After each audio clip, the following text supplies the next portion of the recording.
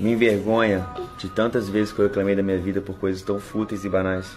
E vim pra cá realmente é uma lição, é a terceira vez que eu venho e toda vez é um aprendizado. É muito louco, porque essa aqui é a sala de aula deles. Quantas vezes eu não reclamei da minha escola? Tudo que eles querem é só estudar e aprender. E vem pra cá todos os dias, mesmo com todas as diversidades.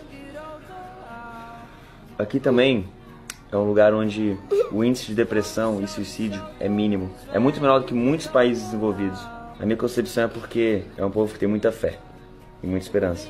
Às vezes a gente reclama muito da vida e às vezes a gente fica esperando muito da vida, mas de repente é a vida que espera algo de nós.